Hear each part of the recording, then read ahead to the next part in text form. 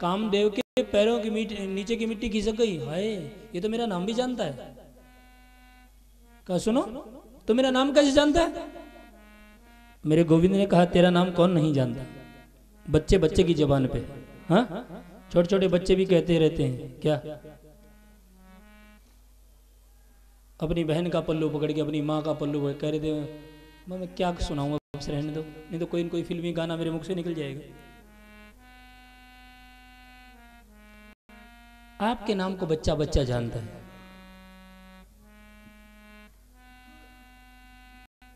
इसलिए फिर तो ये भी जानते हो कि मैं क्यों आया हूँ? लेकिन मेरे ठाकुर ने बनावटी रूप बना करके कहा, नहीं नहीं, मैं कैसे जानू? मैं नहीं जानता तुम क्यों आए हो? कि देखो, कुछ लड़ना झगड़ना जानते हो?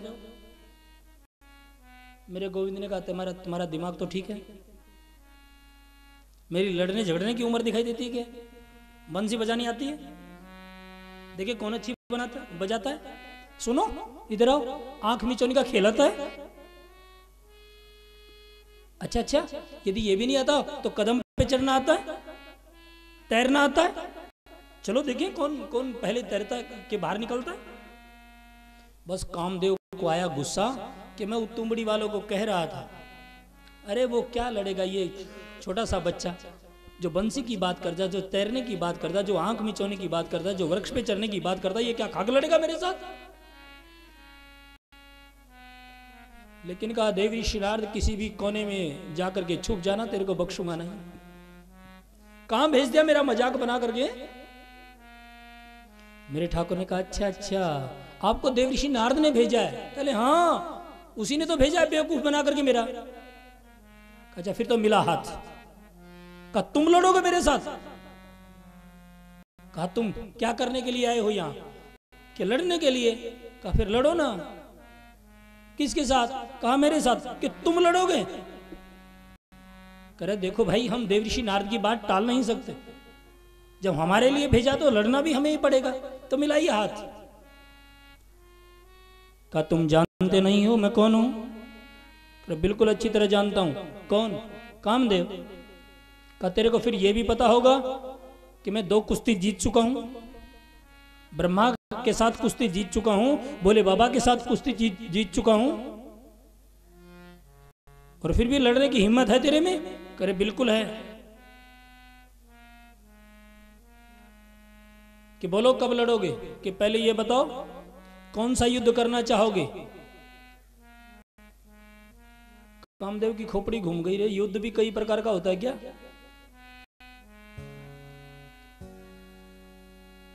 कर समझ में आई कुछ? कौन सा युद्ध करना चाहोगे?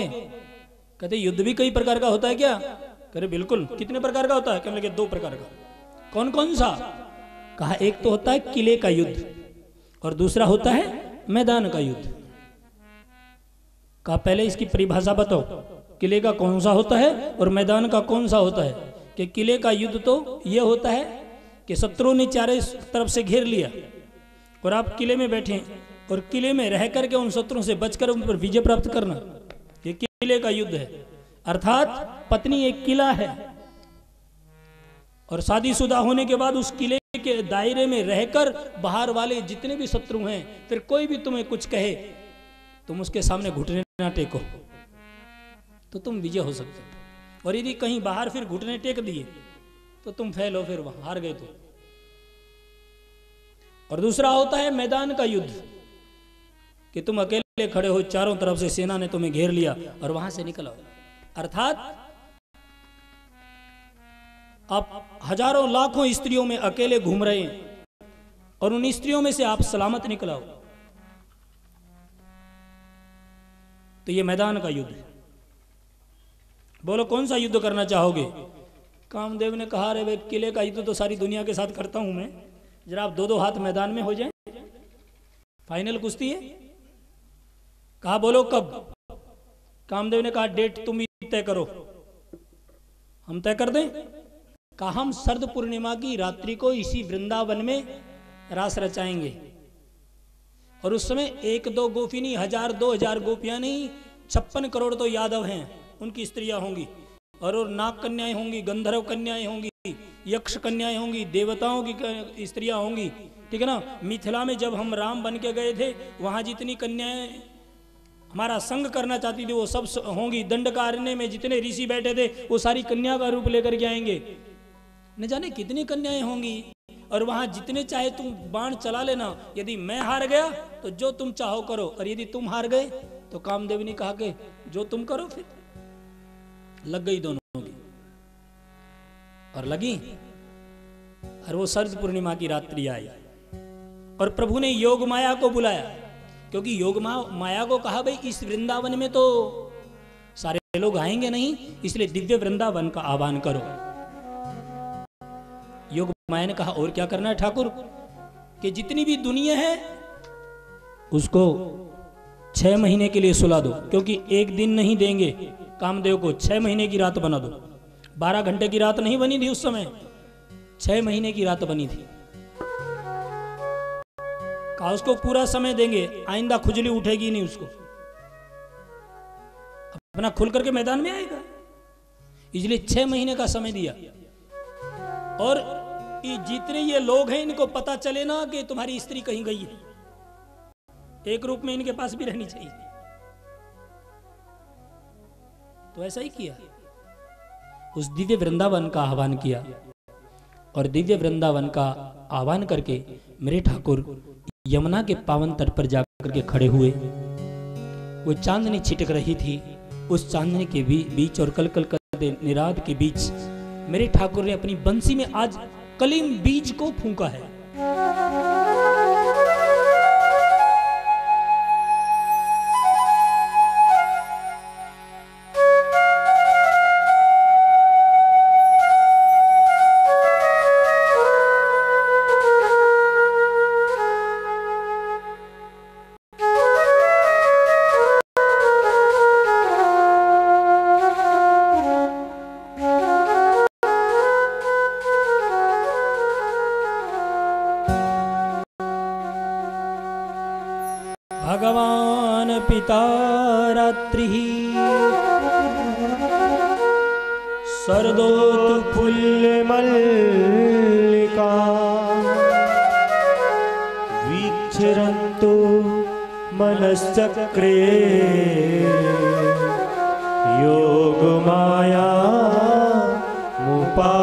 Срита.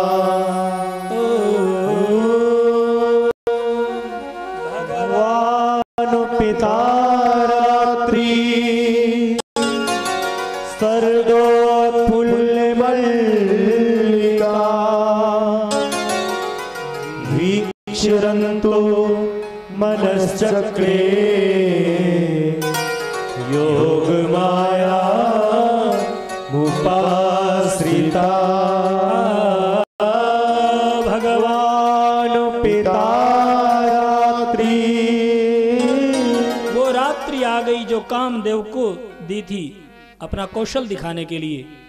और उसमें भगवान ने मन को बनाया। क्या? मन को बनाना पड़ा मेरे ठाकुर। क्या? इन लोगों के साथ खेल करने के लिए। कामदेव का अभिमान तोड़ने के लिए। विक्षरंतु मनश्चक्रे। योगमाया मुपाश्रिता जो मन तुम्हें चक्कर में डाल के रखता वो ठाकुर के पास नहीं है। उसको बनाया। आज। क्यों? क्योंकि कामदेव के अभिमान को तोड़ने के लिए। और निशम्य गीतम तदनंगवर्धनम ब्रज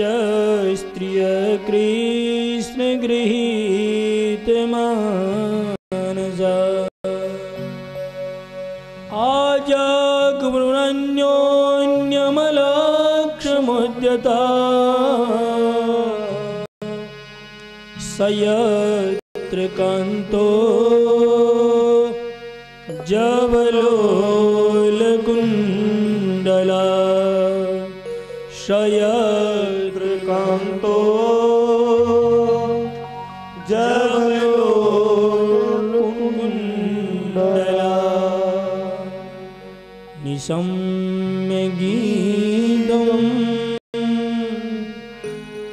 तदनङ्गवर्धनम्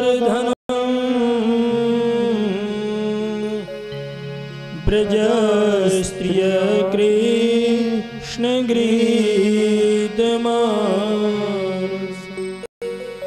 वो गीत गुनगुनाया मेरे ठाकुर ने, लेकिन वो क्लीम नाम का जो गीत गाया, कामना रूपी मंत्र फूका बंसी में तो केवल वो बंसी उन्हीं को सुनाई दी जो मेरे ठाकुर को समर्पित हो चुके थे। सबको सुनाई नहीं दी? बिल्कुल पास में बैठे उनको भी नहीं। अरे जो चेतन कहे जड़ई करे जड़ई करे चेतन। अस समरथ रघुनायक भाई बजब जीव ते धन्य हो। जो चेतन कर जड़ कर जड़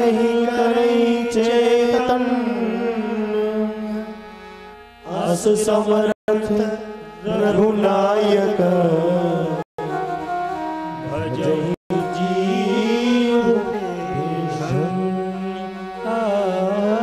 जो जड़ करई।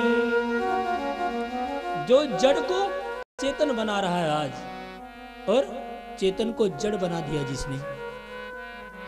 और आज गोपियों का क्या हाल है रे? जो ही बंसी की वो धुन पड़ी कान में तो क्या हुआ? बंसी की धुन पड़ते ही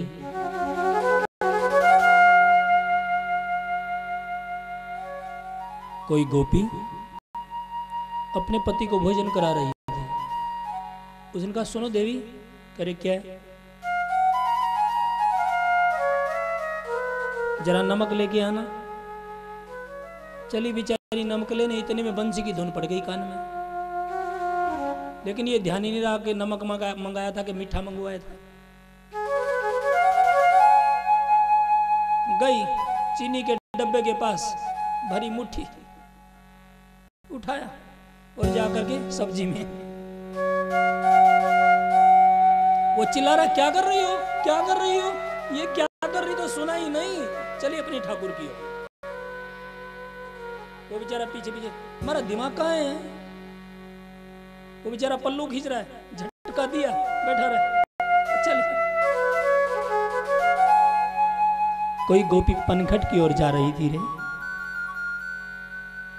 बस जाकर के पनघट पे मटका रखा, नीजू बाल्टी डाली, और बाल्टी भरी पानी की खींचने लगी ही थी। इतने में बंसी की धुन कान में गिर गई, रस्सी छूट गई, बाल्टी कुआ में गिर गई, और चली मेरे ठाकुर को मिलने। कोई गोपी अपने कपड़े पहन रही थी। ऊपर का कपड़ा पहना था। इतने में वो बंसी की धुन कान में गिरी। नीचे का पहनना ही भूल गई। चली मेरे ठाकुर की ओर। कोई गोपी अपने हाथ में दर्पण लेकर के, अपने हाथ में शीशा लेकर के अपनी आँखों में काजल लगा रही थी।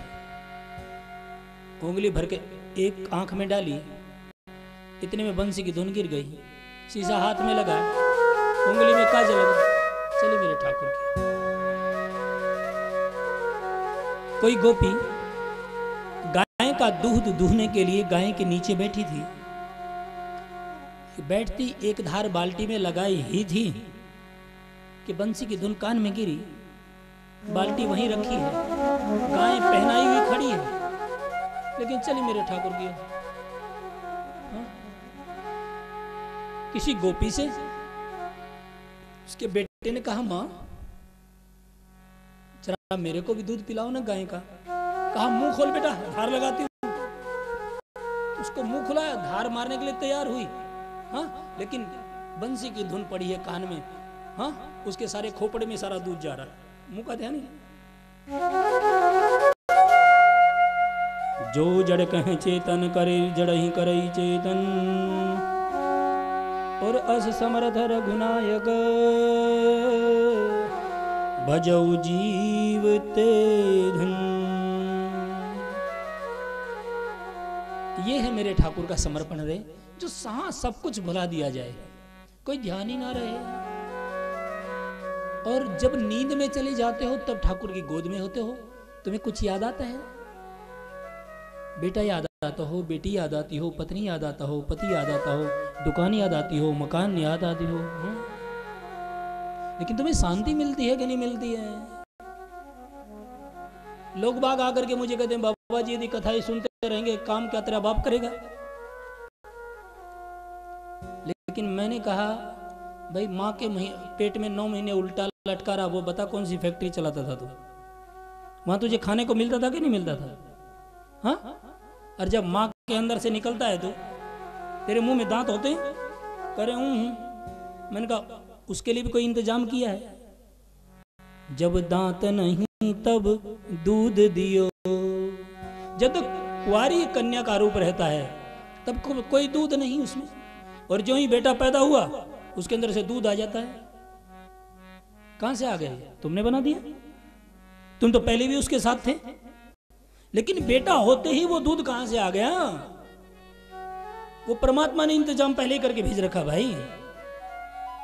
जब दांत नहीं तब दूध दियो, और जब दांत दिए क्या अन्न न दई है? जो जान को देत अजान को देत, जहान को देत तो तुमको भी दई है। अरे काहे सोच करे मन मूर्ख, काहे सोच करे मन मूर्ख सोच किए कछु हाथ न है। जो जान को देते अजान को देते, जहान को देते तो तुमको भी दइए। मिलेगा तुम्हें भाई।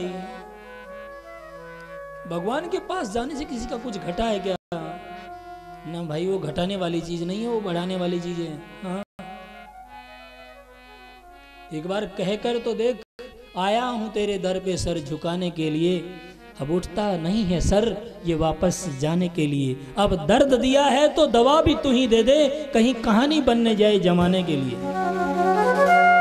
कहो तो सही। ये देखिए ये गोपियाँ जा रही हाँ तुम्हें यदि कथा में भी आना हो तो बीस बार साड़ी को संवारोगी। इधर से नहीं हो, इधर से नहीं हो। हाँ बीस बार शीशे के सामने जाओगे। हाँ भाई, ठाकुर को तुम्हारा श्रृंगार नहीं देखना, तुम्हारा भाव देखना है। वो देखिए किस किस भाव से जा रही है। ठीक है ना?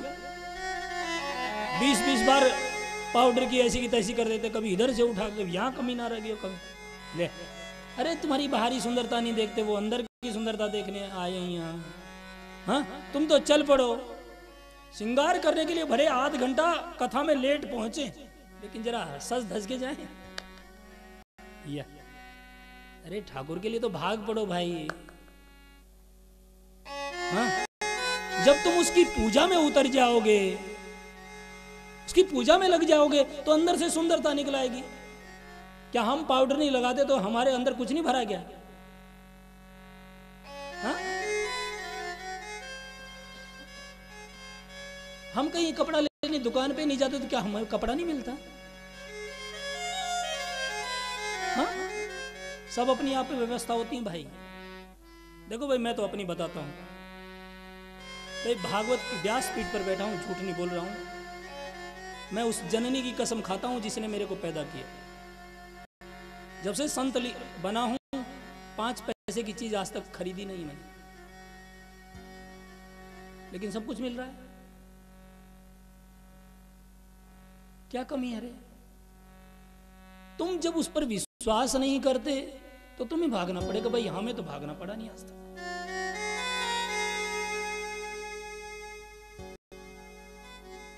फिर तुम्हें विश्वास क्यों नहीं है? ये मैं द्वापर त्रेता की बात नहीं कर रहा हूँ, भाई। बिल्कुल जो घटित है मेरी ज़िंदगी में, वो बात कर रहा हूँ मैं। कोई कमी नहीं है।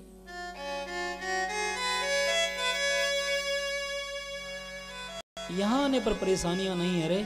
परेशानियाँ उधर हैं। इधर नहीं लेकिन इधर आते नहीं है। ये बात नहीं कि मैं काम नहीं करता, आप लोगों से ज़्यादा काम करता हूँ। आप लोगों से ज़्यादा आश्रम की व्यवस्था देखता हूँ। आप लोगों से ज़्यादा लोगों को अटेंड करता हूँ। ठीक है ना? आप लोगों से ज़्यादा मेहनत करता हूँ। शायद आप तो यहाँ से जाकर के सो लेते होगे, विश्राम कर लेते होगे, लेकिन मुझे कोई सोने भी नहीं देता रे। पता नहीं चार घंटे सो पाते हैं कि नहीं सो पाते हैं। जब से संत बना मैं तो शायद पाँच घंटे कभी सोया ना हो। देखो, मेहनत तो करनी पड़ेगी भाई। मेहनत किए बगैर तो काम चलेगा नहीं। क्योंकि शरीर बना ही कर्म के लिए भाई, इसे सो कर्म करना पड़ेगा। हाँ बस एक जो मन मन कर्म के लिए नहीं बना है, मन ठाकुर के लिए बना है। बस, फ़र्क इतना ही है। तुम यहाँ भी आते हो तो सत्तर समस्याएँ घर की उठा करके ले आते हो, ले आते हो।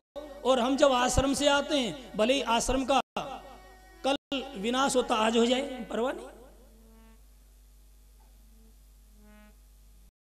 और शायद कथा में जब आता हो तो आश्रम में भी कह गया तुम मेरे पास फ़ोन तक नहीं कर देना, तुम्हारा चाहे विनाश हो जाए, जब हम कथा में बैठे हों। लेकिन तुम कथा में भी आते हो तो बीस तरह के टेलीफोन जेब में लेके आते हैं।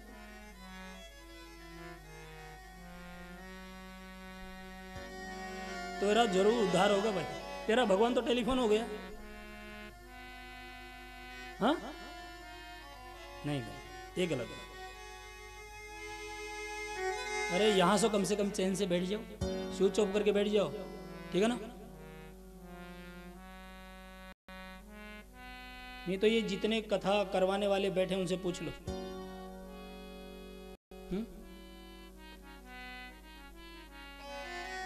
ये बैठे हमारे सतीश के पापा जी, सुरेश गुप्ता जी। बिल्कुल भी इन बातों को नहीं मानते थे। घर वालों को भी नहीं आने देते थे। लेकिन जब हमारे एक दिन आमने सामने हो गए, बहुत बड़े पद पे अधिकारी भी थे आपके दिल्ली सरकार में मानते नहीं थे, मैंने कहा, तुम सुन के तो देखो एक बार।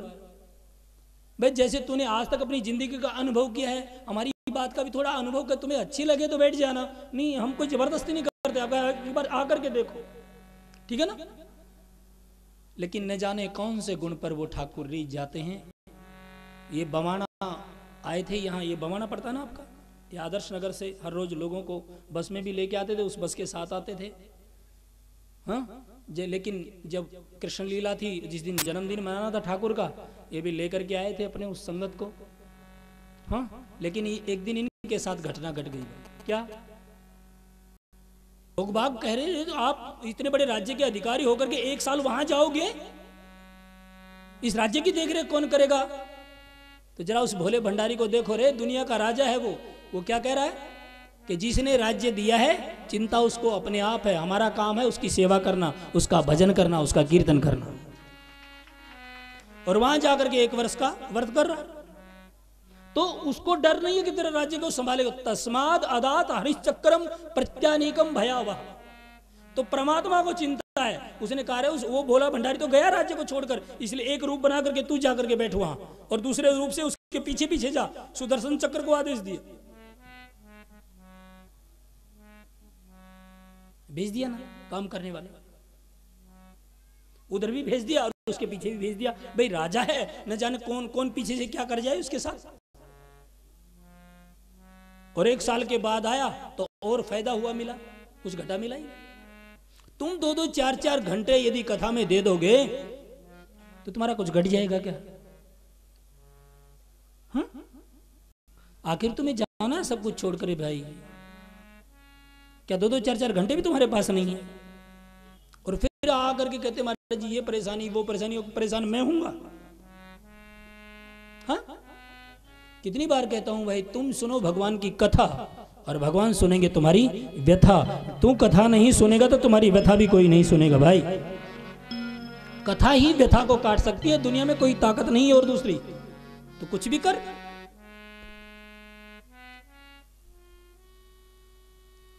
इसलिए यहाँ तुम्हारे भाव की ज़रूरत है, तुम्हारे सौंदर्य के जब समर्पण। देखिए, गोपियाँ जा रही हैं सारी।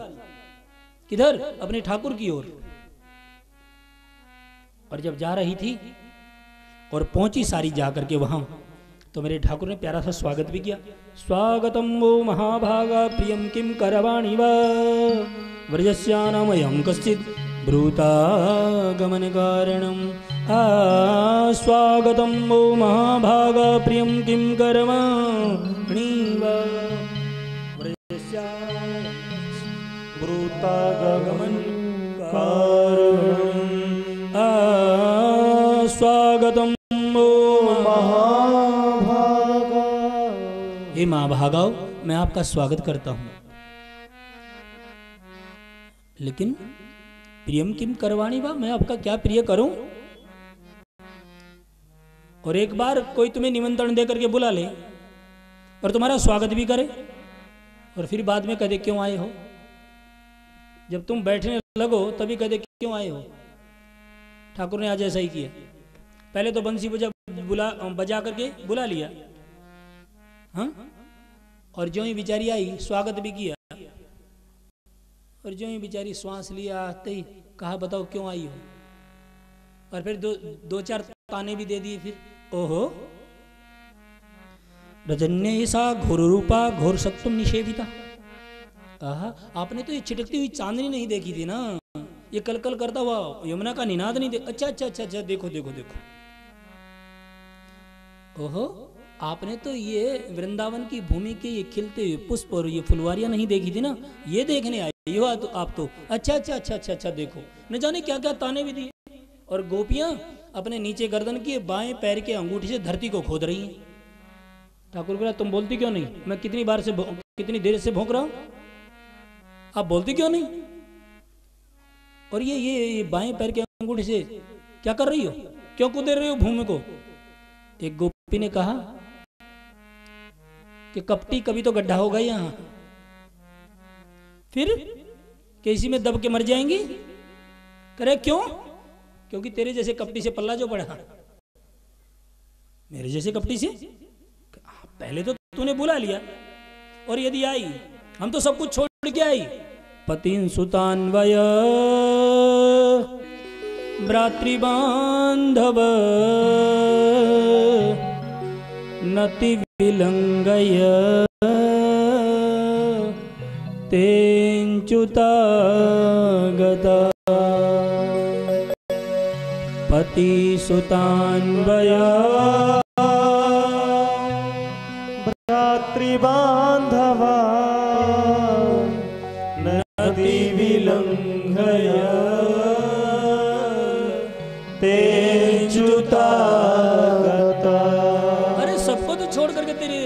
शरण में आई हम और तू ही आकर के पूछ रहा क्यों आई हो?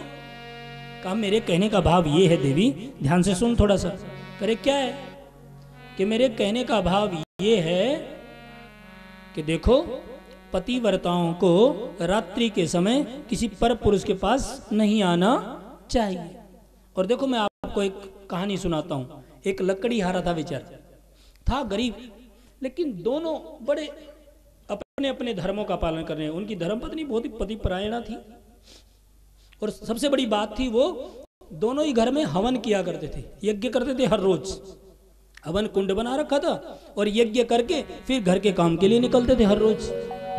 तो इधर यज्ञ किया एक दिन और लकड़ीहारा लकड़ी लेने के लिए जंगल में चला गया और वो अपने घर के काम करने लग गई। गेहूँ निकाले बाहर और प्रांगण में डालकर उनको सुखाने लगी और सुखाते सुखाते उनको बीनने लग गई, साफ़ करने लग गई। और इधर पतिदेव गए और पतिदेव जो ही लकड़ी लेकर के आए वापस, बेचारे थके हुए थे, लकड़ियों का गट्ठा डाला प्रांगण में और विश्राम करने की सोची और विश्राम करने के लिए अपनी पत्नी के पास चले गए। वो बेचारी बैठी थी पलाथी लगाकर, उसकी जंघा के ऊपर अपने सर को रखा। थोड़ी सी देर के लिए लेटे थे, लेकिन लेटते ही थके हुए थे। नींद आ गई, सो गई। लेकिन इतने में उनका छोटा सा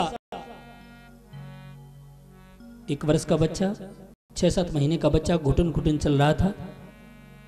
खेलते खेलते खेलते खेलते हवन कुंड के ऊपर जाकर के चढ़ गया और माँ की नज़र पड़ गई। बस माँ ने तो ये सोचा, हाय, कभी मेरा लाल उसके अंदर ना गिर जाए और कभी मर ना जाए। इसलिए उठना चाहा एकदम, उठाने के लिए, लेकिन इधर पति सो गए थे। अब सोचा बेचारी ने कि यदि मैं पति को उठाती हूँ तो पतिव्रत धर्म खंडित होता है और यदि बेचे, बेटे को नहीं उठाती हूँ तो बेटा मौत का ग्रास हो जाएगा, अग्नि में जल जाएगा। इसलिए बेचारी फंस गई और आँखें बंद कर ली, भले ही मेरा बेटा मर जाए, क्योंकि बेटा तो और भी मिल जाएगा, लेकिन पति कहाँ से लेके आऊँगी? इसलिए मैं पति को सोया हुआ उठाऊँगी। नहीं। और आँख खोल करके देखा, देखते देखते देखते बच्चा अग्नि में अग्नि कुंड में चला गया। और बेचारी की आँखों से अश्रुधारा बह चली। रो उठी। और जो ही आँसू बहते बहते नीचे वो सोया हुआ था, उसके सिर पर गिरे। एकदम जब वो गिला गिला लगा, एकदम उठा दौड़ करके। और जो ही उठा, उठते ही कहा, क्या हुआ? लेकिन ये क्या हुआ तो सुना ही नहीं। बस दौड़ पड़ी, हाय मेरा लाल, हाय मेरा बेटा। और दौड़ती दौड़ती दौड़ती दौड़ती जो ही हवन कुंड के पास पहुँची, मेरे भाई बहन अग्निदेव ने मानव का रूप ले रखा था और मानव का रूप लेकर के उस माँ के बेटे को अपने हाथों में खिला रहा था। और जाके ही, जाते ही कहा, माँ, लो आपका बेटा। आप जैसी पति परायणा माँ के बेटे को मेरे में जलाने की सामर्थ्य नहीं है माँ। दे दिया वापस। कहा, देखो, पतिव्रत धर्म का पालन करने वाली स्त्रियों में इतनी बड़ी ताकत होती है। अग्नि भी उसके बेटे को नहीं जला सकता। एक गोपी ने कहा अच्छा तुम तो बहुत अच्छे हो पंडित जी महाराज, बहुत अच्छी कथा सुनाते हो। अब कहो तो एक एक आध कथा हम भी सुना दें? भगवान ने कहा हाँ हाँ तुम भी सुना सकती हो। कहा, सुनो पंडित जी महाराज, जैसे आपने बताया एक एक पति प्रायणा जोड़ा था, ठीक इसी तरह हम भी एक पति प्रायणा जोड़े को जानते, आप वाला तो कुछ भी नहीं था, हमारा वाला सुनो। वो तो सब काम अपने पति के करने के बाद ही करती थी, उसको नहला कर नहाती, उसको खिलाकर खाती, उसको सुलाकर सोती, अरे यहाँ तक वो हंसता तो हंसने लग जाती, और यदि कहीं वो रोने लग जाता तो वो भी साथ में रोने लग जाती। सब कार्य अपने पति के करने के बाद ही करती थी।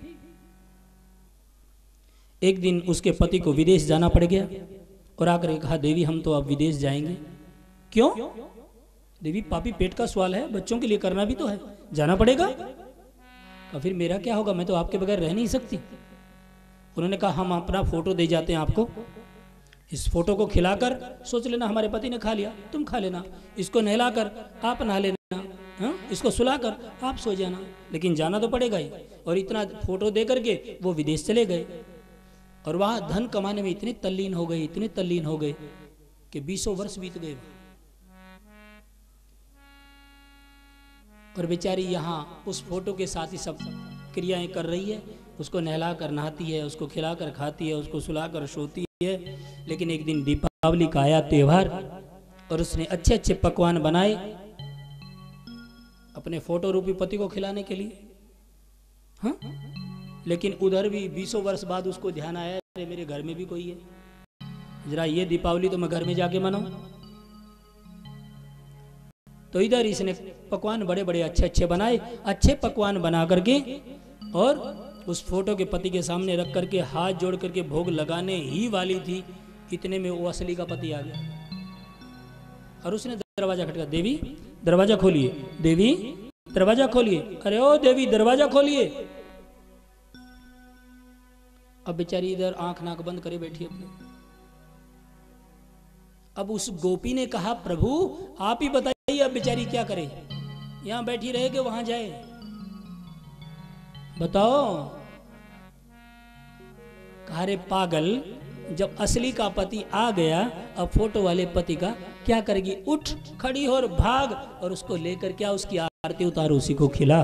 पागल, वही तो असली है। उस गोपी ने कहा, लो पंडित जी महाराज, आपके, आपका ही प्रश्न और आपका ही उत्तर। आज तक तो इन मिट्टी के मुतले, पुतले इन फोटोओं की देखरेख करते रहे। इनकी सेवा करते रहे। लेकिन जब आज परम पति आ ही गया तो इनका क्या आचार डालेंगे? अब तो आपसे ही जो कुछ करवाना अब आपसे ही करना है। फंसा दिया भगवान को। अब क्या उत्तर दे? और फिर गोपियों के साथ, ऐसो रास रचो वृंदावन ऐसो रास रचो वृंदावन।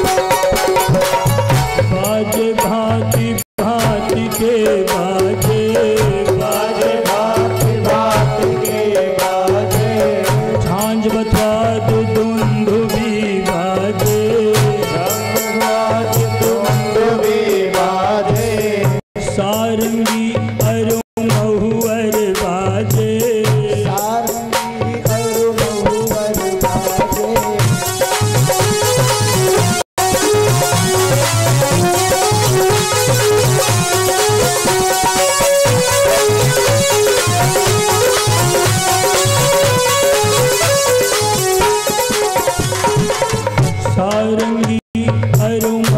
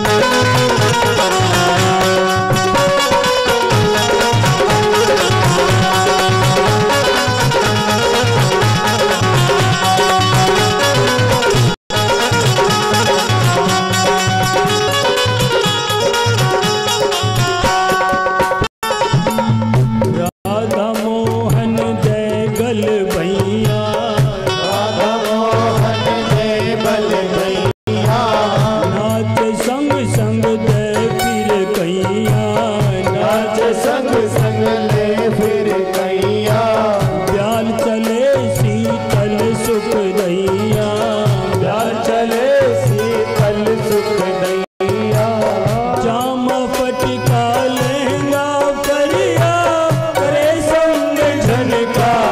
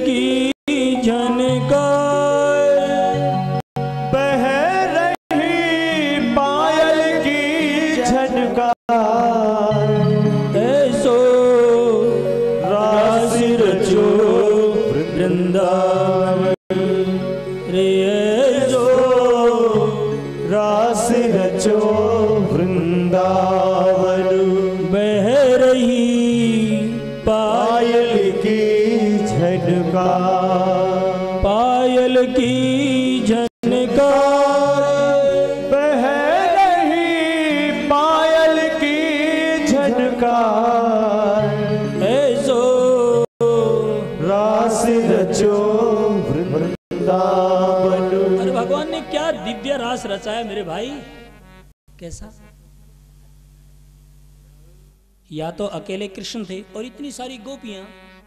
फिर क्या हुआ? जितनी गोपियाँ उतने ही कृष्ण। और फिर थोड़ी देर में क्या हुआ? कि दो कृष्ण और एक गोपी। फिर थोड़ी देर में क्या हुआ? तीन कृष्ण और एक गोपी। फिर थोड़ी देर में हो गया चार कृष्ण और एक गोपी। एक गोपी के साथ चार कृष्ण। चारों तरफ़ कृष्ण, बीच में गोपी। रंग नाम अंगना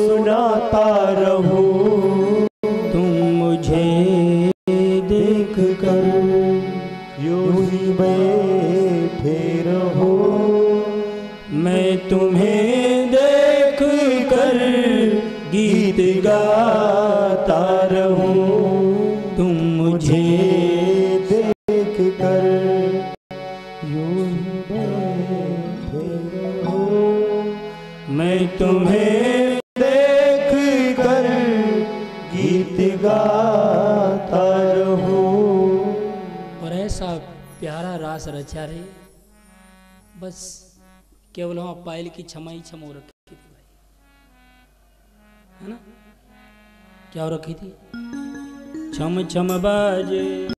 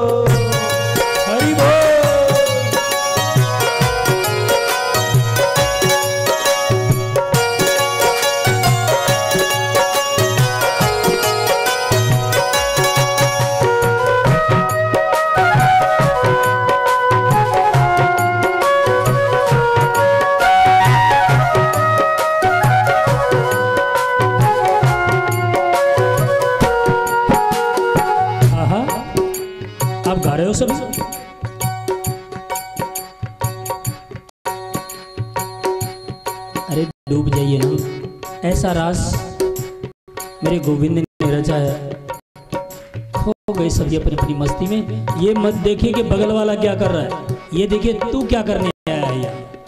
और उस बाल कृष्णलाल की प्यारी प्यारी उस छवि को अपने अंदर उतार करके एक बार जा कर तो देख, यदि ज़िंदगी में अंधेरा भी छाया होगा, वहाँ भी रोशनी आ जाएगी। यहाँ भी ऐसा ही हुआ है।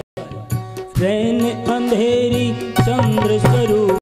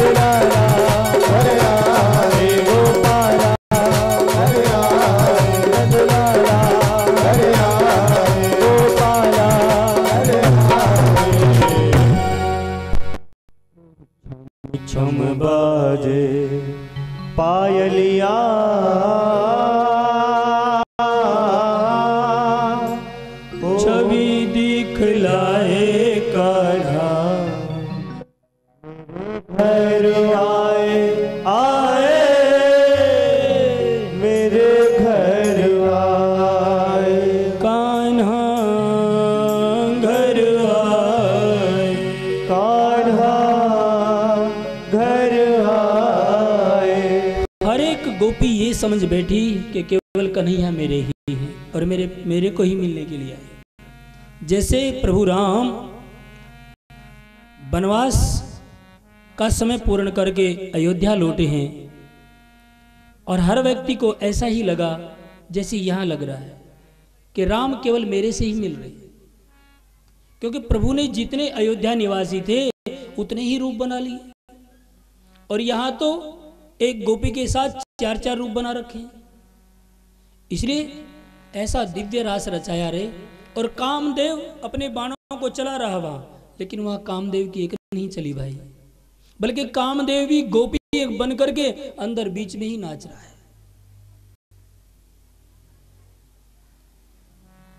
कामदेव का अभिमान टूट गया, लेकिन इधर गोपियों को अभिमान हो गया। क्या?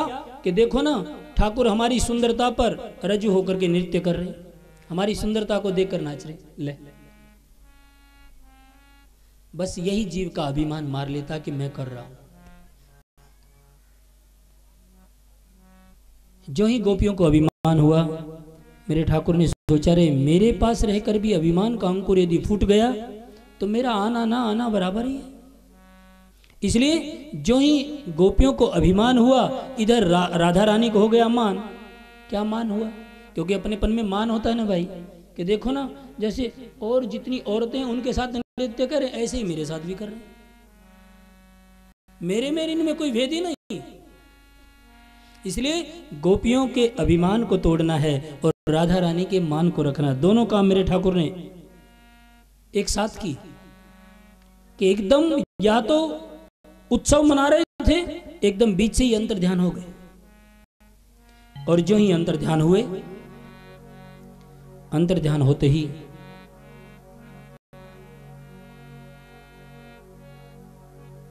गोपियों का जैसे सारा ही धन समाप्त हो गया हो, एकदम पसीना आ गया। जैसे किसी धनवान का वर्षों का कमाया हुआ धन एक ही दिन में समाप्त हो जाए और जरा उस धनवान के साथ फिर क्या व्यतीत होती है, वो तो उसी को पता होता है रे। ठीक इसी तरह गोपियों के से जब ठाकुर गए तो वही हाल हुआ। कितनी तपस्या के बाद, कितनी मेहनत के बाद ठाकुर बुलाए गए और जरा से अभिमान किया तो ठाकुर बीच से चले गए। इसलिए गोपियाँ पागल हो गई और आपस में लीलाएँ कर रही है। एक गोपी पूतना बन गई और दूसरी गोपी कृष्ण बन गई। और पूतना बनी गोपी ने, कृष्ण बनी गोपी को अपने ऊपर डाल लिया और कहने लगे, भाई, पूतना मर गई, पूतना मर गई, पूतना मर गई। एक गोपी तृणावर्त बन गई, एक गोपी कृष्ण बन गई और तृणावर्त बनी गोपी ने, कृष्ण बनी गोपी को अपने ऊपर डाल लिया और कहने लगे, तृणावर्त मर गया, तृणावर्त मर गया, तृणावर्त मर गया।